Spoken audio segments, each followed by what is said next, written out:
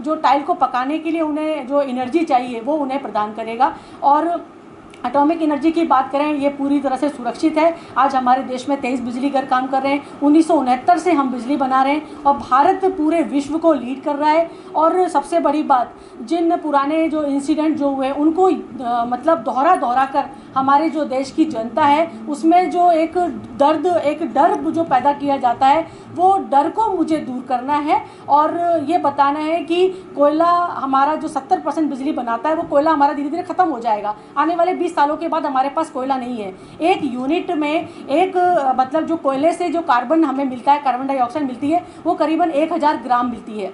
उसकी वजह से कोयला बंद कर दिया। अब हम बात करें कि हमें गैस से कितना मिलेगी। गैस से करीबन साढ़े चार सौ ग्राम हमें कार्बन डाइऑक्साइड मिलते हैं। कार्बन मतलब जो कार्बन एमिशन मिलता है।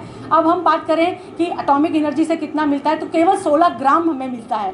और हम सोलर की बात करें तो उससे करीबन छियालीस ग्राम मिलता है। तो इस प्रकार से हम देखें तो कार्बन एमिशन को आ, मतलब देखते हुए कोयला बंद किया तो इन फ्यूचर आ, जो जो पीएनजी गैस है इस पर भी बैन लगाया जा सकता है और हम मैक्सिमम पीएनजी गैस जो है वो इंपोर्ट कर रहे हैं। आ, मतलब उसके प्रोडक्शन को देखते हुए उसकी डिमांड दिन पर दिन बढ़ती जा रही है इट इज़ कॉस्टली तो हमें आ, मतलब मार्केट में रुकना भी है इंटरनेशनल मार्केट में टिकना भी है। इसके लिए हमें ऐसी ऊर्जा चाहिए जो सस्ती भी हो कार्बन एमिशन भी नहीं हो और हमें ऊर्जा सुरक्षा दे सके, उसके लिए हमारे पास बहुत बड़ी ताकत है अटोमिक एनर्जी उसी के बारे में लोगों में अवेयरनेस आए, इसी उद्देश्य से मैंने आज ये प्रोग्राम आज जैसे मोरबी के अंदर जो एट्टी नाइन्टी परसेंट सिरेमिक की जो फैक्ट्रियाँ हैं, वो कोयले का यूज़ करते थे, लेकिन कोयला मतलब पॉल्यूशन की वजह से बंद कर दिया गया। आजकल मतलब जो पीएनजी गैस है, उसका वो लोग यूज़ कर रहे हैं, लेकिन आने वाले समय में उनको इस प्रकार की समस्याओं का सामना नहीं करना पड़े और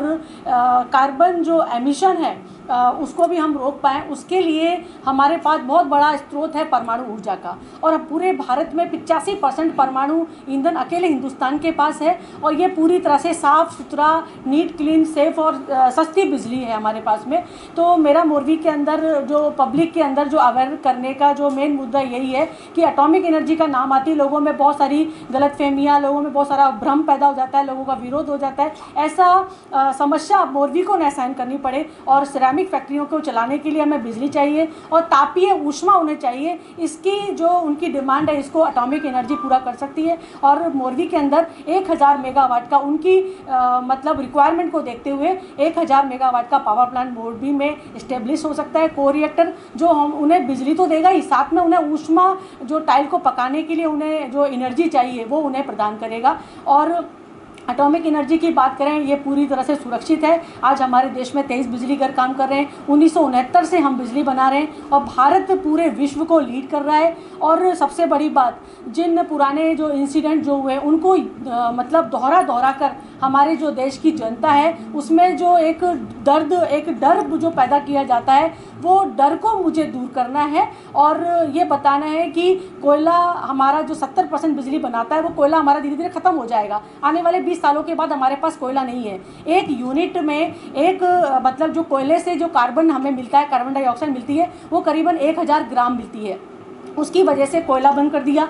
अब हम बात करें कि हमें गैस से कितना मिलेगी। गैस से करीबन साढ़े चार सौ ग्राम हमें कार्बन डाइऑक्साइड मिलते हैं। कार्बन मतलब जो कार्बन एमिशन मिलता है। अब हम बात करें कि अटोमिक एनर्जी से कितना मिलता है तो केवल सोलह ग्राम हमें मिलता है।